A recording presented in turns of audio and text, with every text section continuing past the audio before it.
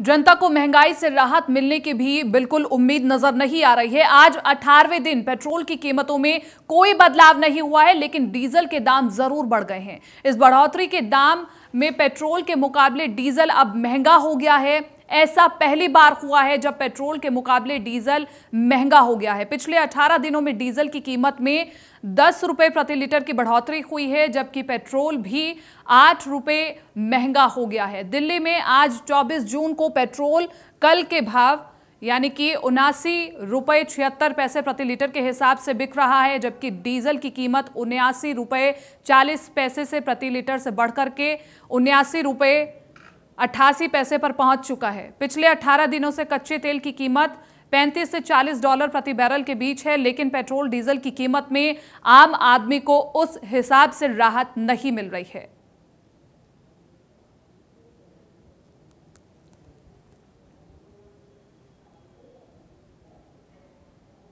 के गाजियाबाद की रिपोर्ट में हमने आपको दिखाया है कि कैसे डीजल और पेट्रोल के दामों में 17 दिनों में इजाफा हुआ है। लेकिन एक खास बात है, वो ये है कि इस बार जो इजाफा हो रहा है, वो डीजल के दामों में पेट्रोल के दामों के मुकाबले ज़्यादा हो रहा है। मैं इस समय देश की राजधानी दिल्ली के सूर्य नगर इलाके के एक पेट्रोल पंप पर मौजूद हूँ। यहाँ देखिए, तमाम जो दो पहिया वाहन चालक हैं, वो यहाँ पर मौजूद हैं। दिल्ली में पहली बार डीजल के दाम जो हैं, वो पेट्रोल के दामों से ज़्यादा हो गए हैं। कितने बढ़ गए हैं, वो मैं आपको यहाँ दिखाने की कोशिश करता हूँ। पहले हम आपको पेट्रोल के दाम यहाँ पर बता देते हैं कि दिल्ली में आज पेट्रोल के दाम क्या हैं। यहाँ पर देखिए जो पेट्रोल के दाम हैं वो आ, आपको यहाँ पर हम मीटर पर दिखा देते हैं जो प्रति लीटर दाम हैं वो अभी यहाँ पर आपको मीटर पर नज़र आएँगे। देखिए ये जो दाम हैं यहाँ पर सामने आ गए seventy nine point seven six. ये आज का रेट है दिल्ली का लेकिन डीजल के दामों में इससे ज़्यादा इजाफा सीधे तौर पर कहें तो देखने को मिला और इसीलिए दाम भी बढ़ गए लोग क्या कहते हैं, वो उनसे पूछेंगे, लेकिन पहले आपको मैं डीजल के दाम एक बार यहाँ दिखा देता हूँ, क्योंकि पहली बार ऐसा हुआ है कि दिल्ली में जो डीजल के दाम हैं, वो पेट्रोल के दाम के मुकाबले ज़्यादा हो गए हैं। अब यहाँ पर आप रेट देखिए, ये जो दाम हैं, पेट्रोल के दाम हमने आपको दिखाए थे और डीजल के दाम आप देखिए seventy nine point eight eight हैं। बारह पैसे ज़्यादा हैं डीजल के दाम। यहाँ पर जो पेट्रोल पंप के कर्मी हैं पहले उनसे बात कर लेते हैं। इस बार आज मैंने पहले नहीं देखा कि डीजल के दाम पेट्रोल के दाम से ज़्यादा हैं। क्या ऐसा पहली बार हुआ है? ये मे पहली बार हुआ है दिल्ली के अंदर जो डीजल और पेट्रोल के रेट में बारह पैसे का फ़र्क रह गया ग्यारह पैसे का। बाकी हमें भी सैंतीस साल नौकरी करते हो गए। तो दिल्ली में जो था डीजल पेट्रोल सस्ता था यूपी से यानी कि यूपी अगेंस्ट दिल्ली में सस्ता रहा। जी। परंतु इस साल में एक तो कोरोना का चल रहा है। दूसरा डीजल पेट्रोल जो है वो इतना महँगा कर दिया है कि पब्लिक के हाथ खड़े हो गए। वो बीमारी का इलाज करें या अपनी गाड़ी में तेल। डलवाएँ। अगर किसी को तकलीफ़ होती है कि हमने मरीज़ को लेके जाना है तो वो उसके पास पैसे ही ना इतने। जी। तो ये दिल्ली में ऐसा होना चाहिए कि पेट्रोल के रेट जो हैं और डीजल के जो कम होने चाहिए। जी क्योंकि डीजल के दाम बढ़ेंगे तो सभी चीज़ों के दाम बढ़ेंगे। सभी अगर डीजल पेट्रोल के दाम बढ़ेंगे तो सब चीज़ों के दाम बढ़ जाएँगे इसमें पब्लिक के हाथ खड़े हो जाएँगे। ये कहते हैं सरकार कह रही है कि हमने ये कर दिया वो कर दिया क्या कर दिया? आपने पहले कभी नहीं देखा कि डीजल के दाम पेट्रोल से ज़्यादा? सैंतीस साल मैंने दो रुपए से लीटर डीजल पेट्रोल डीजल बेचा है। आठ अन्य डीजल और दो रुपए दो रुपए इकतीस है पेट्रोल। जी तो आप पेट्रोल पंप के कर्मी को सुन रहे हैं वो क्या कह रहे हैं? उन्होंने भी पहले ऐसा नहीं देखा कि डीजल के दामों में जो पेट्रोल के दाम हैं उनसे ज़्यादा इजाफा और वो ज़्यादा दाम भी देखने को मिल रहे हैं। लोगों से पूछ लेते हैं सब कोरोना काल है सब लोग एहतियात भी बरत रहे हैं। पेट्रोल पंप पर जब आप पेट्रोल भरवाने के लिए आए हैं रोज़ इजाफा देखने को मिल रहा है। क्या कहेंगे? सर रोज ही इतनी महँगाई हो रही है इससे ज़्यादा। और वैसे काम जाम भी नहीं है। परेशान पब्लिक वैसी है और दाम पे दाम वैसे बढ़े जा रहे हैं। हाँ यहाँ लोग वक्त तो खाने के वैसे भी नहीं है। जेब पर कितना भारी है ये? जेब पर तो बहुत ज़्यादा ही भारी है मैं जी। तो जेब पर काफ़ी भारी है और लोगों से यहाँ पूछ लेते हैं वो क्या कहते हैं रोज़ जो लोग ऑफ़िस जाते हैं वो अपने दोपहिया वाहन का इस्तेमाल करते हैं। तो पेट्रोल के दाम उन पर सीधा असर करते हैं। लेकिन अगर इनडायरेक्ट असर की बात करें तो डीजल के दाम सीधे उन पर असर करते हैं। साहब डीजल के दाम दिल्ली में पेट्रोल के दाम से ज़्यादा हो गए। क्या कहेंगे आप?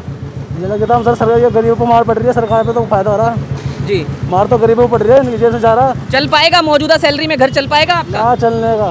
जी। नहीं चलने का किसी का भी चलने का हमारा किसी का भी चलने का। पिछले सत्रह दिनों में लगातार इजाफा हो रहा है। कुछ कहना चाहेंगे? सरकार को हमारे माध्यम से ऐसा कुछ करे कि जिससे कोरोना काल है राहत मिलनी चाहिए थी लेकिन ये तो झटका लग गया। सब काम धंधे ठप कर दिए पेट्रोल दाम बढ़ाए जा रहे हैं। आदमी की सैलरी आ नहीं रही घर बैठे बैठे क्या करेगा आदमी? जी। कहाँ से लाएगा? जी। इसलिए सरकार से ये कहना चाहता है कि पेट्रोल दाम बढ़ाए अपना लोगों को रोज़गार दे। तो आप सुन सकते हैं लोग क्या कह रहे हैं? लोगों की भी अपनी अपनी राय अपनी अपनी विचारधारा है लेकिन सिर्फ़ परेशानी एक है कि जो दाम हैं वो ना बढ़ें। और फिर मैं अंत में यही कहूँगा और इस खबर पर ज़्यादा जानकारी के लिए बहराइच से संजय मिश्रा और मुरादाबाद से शहनवाज मेरे सहयोगी लाइव मेरे साथ जुड़ चुके हैं। शहनवाज मैं आपके पास आऊँ लेकिन उससे पहले आ, मैं संजय आपके पास आना चाहूँगी क्योंकि एक तो कोरोना की मार ऊपर से पेट्रोल और डीजल के दाम में आग लग चुकी है। लेकिन इस बार सबसे अलग बात यह है कि डीजल के दाम सबसे ज़्यादा बढ़ गए हैं। क्या मुख्य वजह बता रहे हैं एक्सपर्ट?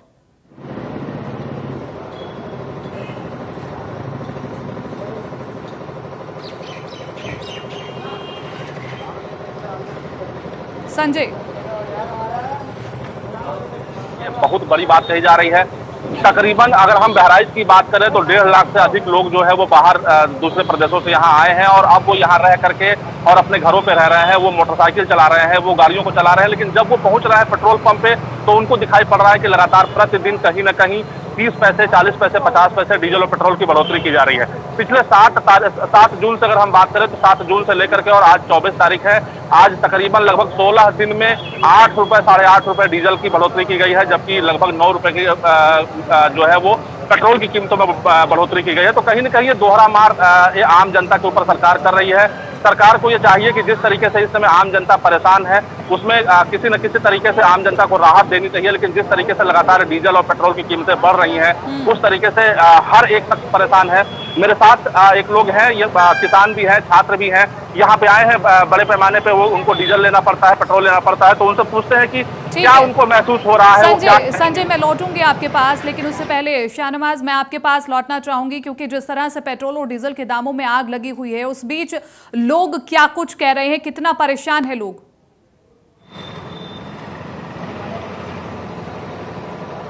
देखिए, आप बिल्कुल कीर्ति, मैं आपको बता दूँ इस वक्त यहाँ मौजूद हूँ मुरादाबाद के पेट्रोल पंप पर, जहाँ पर आज जो पेट्रोल है, वो अस्सी रुपये साठ पैसे और जो डीजल है, बहत्तर रुपये छः पैसे यहाँ पर रेट है। और यहाँ जो आपको बता दूँ, मुरादाबाद की कुछ ही दूरी पर, यहाँ एक डिंगरपुर जगह पड़ती है, जहाँ पर बड़ी तादाद में ट्रक का कारोबार है, जहाँ ट्रांसपोर्टर हैं, वो बेहद प्रभावित है। उनका कहना है, जिस तरह से लगातार पेट्रोल और डीजल में रेट बढ़ रहे हैं तो उनका जो कारोबार है, वो धीरे धीरे जो है, ठप होता चला जा रहा है। कोरोना की मार से पहले ही पूरा कारोबार ठप हो गया है। अब जो रेट बढ़ रहे हैं पेट्रोल और डीजल के तो कहीं ना कहीं काफ़ी जो ट्रांसपोर्टर हैं, वो प्रभावित हुए हैं। और जो किसान हैं, उनका कहना, हमारे कई किसान थे, उनसे बात हुई थी। और उनका कहना है, सीधे तौर पर आज पूरी तरह से जो है, किसान इस बढ़ते दामों से जो है, प्रभावित हो रहे हैं। और यहाँ जो पेट्रोल पंप स्वामी है, उनका कहना है कि जो जिस तरह से लगातार लॉकडाउन के बाद से जो है, नौ रुपये और दस रुपये का जो रेशियो है, वो बढ़ोतरी हुई है। तो। कहीं ना कहीं जो यहाँ पर सेल है, वो भी आदि हुई है। तो पेट्रोल पंप स्वामी जो है वो भी परेशान है। जी ठीक है सेल पर असर पड़ा है शाहनवाज मैं लौटूँगी आपके पास। संजय एक बार फिर से आपके पास आना चाहूँगी क्योंकि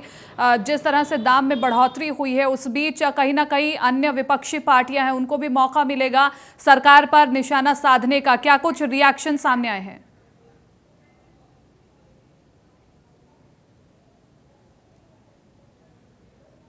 संजय आप हैं हमारे साथ?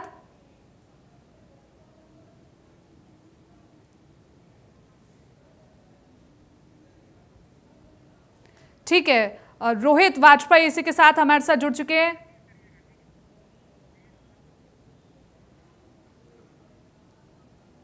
तो दिल्ली में पेट्रोल से महँगा हुआ है डीजल। हमारे संवाददाता ग्राउंड रिपोर्ट से लगातार हमें जानकारी दे रहे हैं, क्या कुछ लोगों के रिएक्शन आ रहे हैं, सबसे ज़्यादा असर कहाँ पर पड़ रहा है, क्योंकि ये भी कहा जा रहा है, जब से पेट्रोल और डीजल के दामों में बढ़ोतरी हुई है, तब से सेल भी आदि हो गई है। सबसे ज़्यादा जो मार पड़ी है, वो कॉमर्शियल वाहनों पर पड़ी है, क्योंकि डीजल के जो दाम है, वो पेट्रोल से ज़्यादा हो गए हैं, और ये ऐसा पहली बार हुआ है। लगातार लोग ये कह रहे हैं कि एक तो कोरोना की मार है। ऊपर से ये पेट्रोल और डीजल के दाम लगातार बढ़ रहे हैं। इस बीच जेब पर भी भारी असर पड़ रहा है। यहाँ हम आपको बता दें 18 दिन में दस रुपए बढ़ गए हैं डीजल के दाम।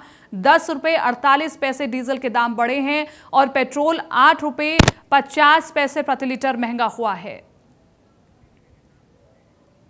इधर गौतम बुद्ध नगर में आज डीजल की कीमतों में बढ़ोतरी की गई है। फ़िलहाल पेट्रोल की कीमतों में आज कोई भी बढ़ोतरी नहीं की गई है। अगर हम डीजल की कीमतों की बात करें तो सैंतीस पैसे की बढ़ोतरी की गई है, जिसके बाद जो कीमत है, बहत्तर रुपये तीन पैसे तक पहुँच चुकी है। इंडिया न्यूज़ संवाददाता रजत टंडन ने इसका जायजा लिया।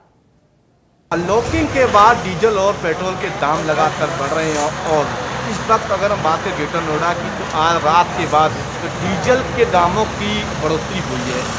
सैंतीस पैसे डीजल के दाम बढ़े हुए हैं। लेकिन आज पेट्रोल के दाम तो नहीं बढ़े, लेकिन डीजल के दामों की बात करें तो अब बहत्तर पॉइंट ज़ीरो तीन पैसे तक पहुँच चुकी है। हम आपको तस्वीरें दिखाएँ किस तरह से लोग यहाँ पर पेट्रोल डला रहे हैं और खड़े हुए हैं। लेकिन जो डीजल की जो मार है, गरीब जनता पे पड़ रही है। कहीं ना कहीं जो डीजल के दाम है, काफ़ी ही बेहद ही डरावने वाले हो चुके हैं। और हर वक्त जो कि पहले काफ़ी टाइम से डीजल के दाम नहीं बढ़े, लेकिन जो अब हम बात करें जब से अनलॉकिंग की शुरुआत हुई है तो डीजल के दाम है, वो काफ़ी चरम सीमा पर पहुँच चुके हैं। लोग पहले भी बेरोजगार थे, उसके बाद जो डीजल के दामों में जो बढ़ोतरी हो रही है, बेहद ही चिंताजनक है कि अनलॉकिंग के बाद जो लोगों को काफ़ी काम भी नहीं था, उसके बाद जो डीजल की मार है, जो आम जनता, जो कोई, जिनका जीवन पटरी पर आना शुरू हुआ था, उसके बाद जो डीजल की बढ़ोतरी हो रही है अब लोगों को काफ़ी समस्याएँ हो रही है। हमारे पास कुछ लोग मौजूद है जो कि यहाँ पे पेट्रोल पंप है। ये इनसे बात करते हैं। आखिर ये पेट्रोल डलाने आए। आखिर इन्हें अब क्या कहना है? इनको आपको क्या क्या समस्याएँ होती है? क्या नाम है आपका?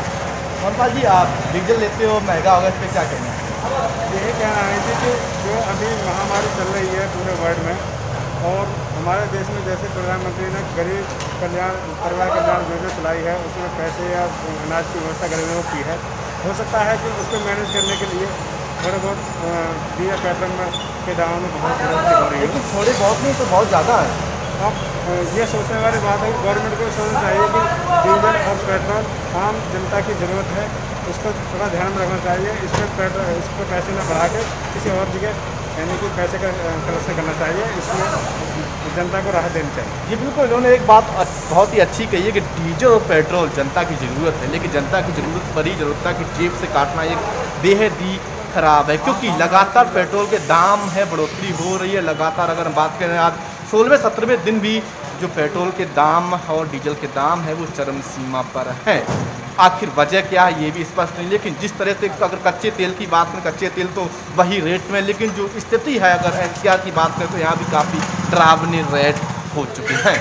ग्रेटर नोएडा से रजत कुमार इंडिया न्यूज़ कल आपको बता दें कि कोरोना को लेकर के पतंजलि ने दवाई का दावा किया था। इस दावे में कितना दम है, ये भी जानते हैं। उन्होंने कोरोनिल बनाने का दावा किया, लेकिन बाबा रामदेव की इस दवा पर आयुष मंत्रालय ने तलवार लटका दी है। आयुष मंत्रालय ने फ़िलहाल दवा के विज्ञापन पर रोक लगा दी है और पतंजलि से जानकारी मांगी है। हालाँकि पतंजलि की ओर से कहा गया है कि मंत्रालय को जानकारी दे दी गई है। आयुष मंत्री श्रीपद नाइक ने कहा कि इजाज़त नहीं लेना ही हमारी आपत्ति है। अगर कोई दवाई लेकर मार्केट में आता है और बनाता है तो ये खुशी की बात है, उससे किसी को ऐतराज नहीं है। आयुष मंत्रालय भी अपनी दवाई पर काम कर रहा है और जुलाई महीने तक आयुष मंत्रालय भी कोरोना वायरस की दवाई लेकर मार्केट में आ सकता है।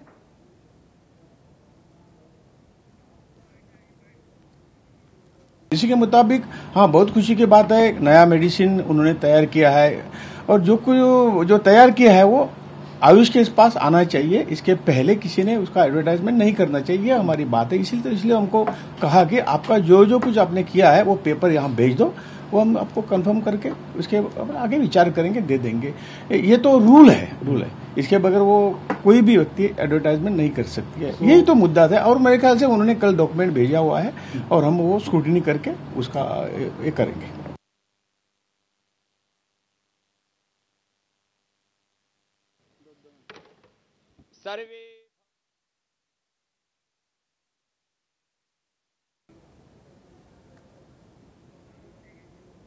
आयुष मंत्रालय की ओर से क्या कुछ संदेह इसमें जताया गया है? ये हम आपको ग्राफिक्स के ज़रिए बताते हैं। क्या कुछ सवाल उठाए गए हैं, ये भी बताते हैं। फैक्ट और साइंटिफिक स्टडी की जानकारी नहीं है। ये सरकार के नोटिस में है और कोरोनिल दवा के ट्रायल के रिकॉर्ड भी मांगे गए हैं सरकार की ओर से।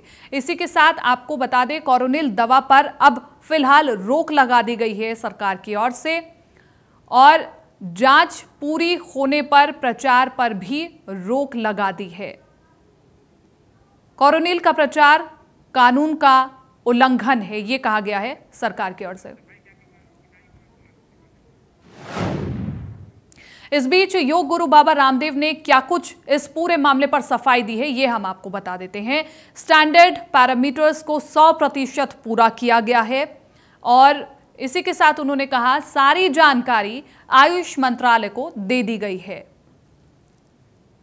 सरकार के साथ कम्युनिकेशन गैप हो गया, इस वजह से ये दिक्कत आई है, लेकिन सारी फॉर्मेलिटीज पूरी की गई हैं। ये सरकार आयुर्वेद को प्रोत्साहन देने वाली सरकार है, लेकिन कम्युनिकेशन गैप है कहीं ना कहीं। कोरोनिल दवा का डेथ रेट शून्य बताया गया है।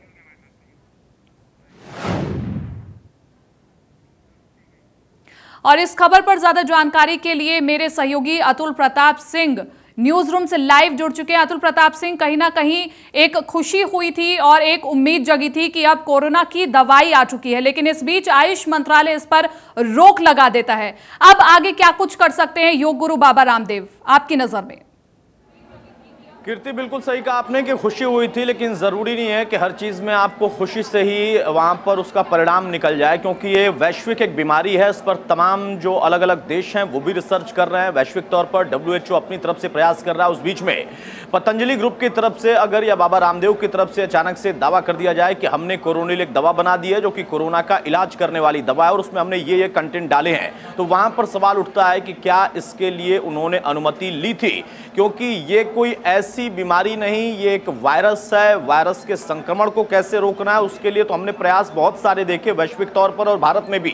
लेकिन उसकी वैक्सीन क्या हो सकती है और किस तरीके की वैक्सीन कब तक बन पाएगी, इसको लेकर WHO से लेकर तमाम अलग अलग देशों की तमाम संस्थाओं के वर्जन हमने सुने।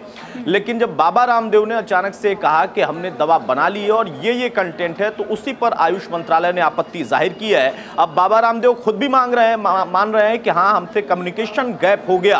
लेकिन हम अब दस्तावेज़ दे रहे हैं। सरकार को सरकार जो मौजूदा है, वो बूस्टअप करने वाली सरकार है और हमें उम्मीद है कि हाँ शायद ये बात बन जाएगी। लेकिन आयुष मंत्रालय ने साफ़ कर दिया है कि ये पूरी प्रक्रिया ही एक तरीके से यहाँ पर व्यवस्थित नहीं थी कानून के अंतर्गत नहीं थी और जो नियमावली है जो दवा बनाने वैक्सीन बनाने उसको लेकर जो प्रक्रिया अपनाई जाती है सरकार के बीच में संस्थाओं के बीच में वहाँ रिसर्च कैसे होगा क्लिनिकल ट्रायल कैसे होगा टेस्ट कैसे होगा उसकी कहीं से इसमें पालना नहीं की गई है।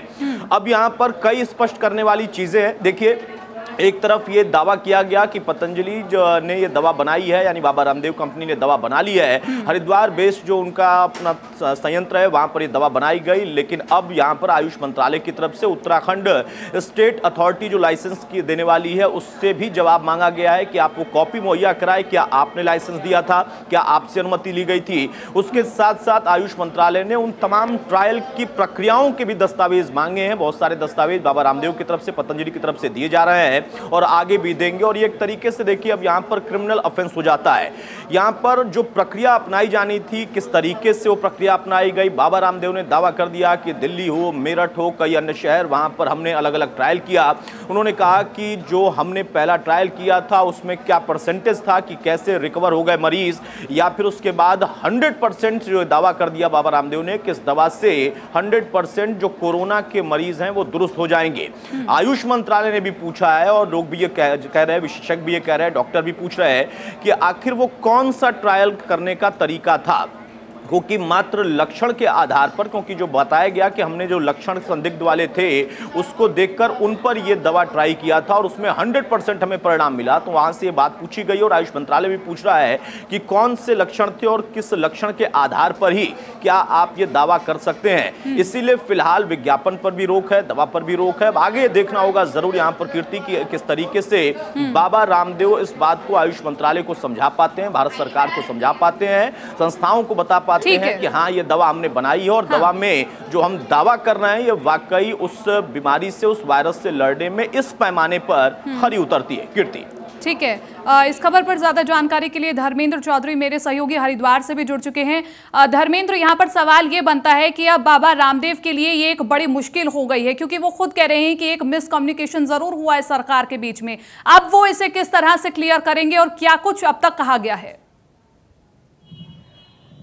देखिए, कल जब पतंजलि योगपीठ में इस दवाई को लॉन्च किया गया था तो उस समय बहुत खुशी ज़ाहिर की गई थी और योग गुरु बाबा रामदेव ने उस समय कहा था कि ये आयुर्वेद के लिए बहुत गौरव का विषय है, गौरव की बात है। लेकिन शाम होते होते जब आयुष मंत्रालय ने इसके प्रचार प्रसार पे और बिक्री पे रोक लगा दी तो तभी से एक मायूसी पतंजलि योगपीठ में छा सी गई थी इसे कह सकते हैं। लेकिन उसके बावजूद पूरी टीम इसमें लगी रही और 11 पेज का एक जो जवाब है अपना वो आयुष मंत्रालय को दिया गया है और हो सकता है कि उससे आयुष मंत्रालय संतुष्ट भी हो। लेकिन जो पतंजलि योगपीठ के महामंत्री हैं आचार्य बालकिशन उनके द्वारा इस बात को कहा गया था कि एक कम्युनिकेशन गैप है इसके अलावा कुछ नहीं है और जो उन्होंने ट्रायल किया है कई जो मरीज़ हैं कोरोना पॉजिटिव है उन पर हाँ। ट्रायल किया गया है ठीक है अतुल जी एक लास्ट रिएक्शन मैं आपसे लेना चाहूँगी क्योंकि जिस तरह से बाबा रामदेव कह रहे हैं कि मिसकम्युनिकेशन हो गया था और इस वजह से हमने प्रचार कर दिया लेकिन अगर अब ये मिसकम्युनिकेशन क्लियर हो जाता है और जिस तरह से बाबा रामदेव दावा कर रहे हैं कि सात दिन में मरीज़ नेगेटिव हो जाता है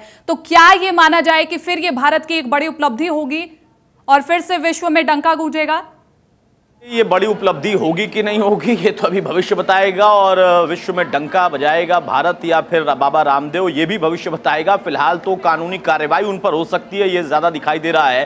क्योंकि जो उन्होंने पैमाने दिए हैं जो उन्होंने बताया है कि इस तरीके से हमने क्लिनिकल ट्रायल किया था यहाँ यहाँ पर हमने ट्रायल किया इन मरीजों पर किया उन मरीजों में ये लक्षण थे या वो संदिग्ध इस तरीके से लक्षण उनके अंदर दिखाई दे रहे थे। ये सारी बातें अभी पैमाने पर खरी उतरती नहीं दिख रही हैं क्योंकि अगर ये पैमाना है तो ऐसी तमाम दवाएँ पहले से मार्केट में हैं जो कि दावा कर किया जा सकता है। क्या इनके आधार पर भी आपके कोरोना आप खत्म हो सकता है कोरोना से हम लड़ सकते हैं? देखिए यहाँ पर सबसे महत्वपूर्ण बात यही है जो आयुष मंत्रालय ने भी पूछा है भारत सरकार ने भी पूछा है और उस पर अगर जवाब से संतुष्ट मंत्रालय नहीं होता है सरकार नहीं होती है तो फिर बाबा खिलाफ कानूनी कार्रवाई भी हो सकती है। क्रिमिनल ऑफेंस की तरह है ये। क्योंकि जो प्रक्रिया उन्होंने अपनाई और बिना सरकार से अनुमति लिए बिना सरकार को कोई जानकारी दिए हमारी तमाम जो संस्थाएँ हैं जो कि इन चीज़ों पर नज़र रखती हैं इस पर काम करती हैं या इसके लिए उनका इन्वॉल्वमेंट होना ज़रूरी है उनकी अनुमति ज़रूरी है। उन सभी से अगर मिसकम्युनिकेशन किया है तो अपने आप में ही एक ऑफेंस है। और इसका फिर उनको खामियाजा भी भुगतना पड़ सकता है कानूनी तौर पर। हालाँकि अभी उन्होंने कहा खुद स्वीकार किया है कि हाँ मिसकम्युनिकेशन है और मैंने जो जवाब दिया है ग्यारह पन्नों का आगे भी हम डिटेल जानकारी देंगे और बहुत संभव उम्मीद है कि हमारी बात पर भरोसा करेगी सरकार। कीर्ति। ठीक है चलिए बहुत बहुत शुक्रिया अतुल प्रताप सिंह तमाम इस जानकारी के लिए, धर्मेंद्र चौधरी, तमाम इस जानकारी के लिए बहुत बहुत शुक्रिया आप दोनों का। लेकिन इस बीच, ये बड़ी बात है कि अगर मिसकम्युनिकेशन नहीं हटता है तो बाबा रामदेव के लिए एक बड़ी मुसीबत ज़रूर हो सकती है। फ़िलहाल के लिए इतना ही। मुझे दीजिए इजाज़त।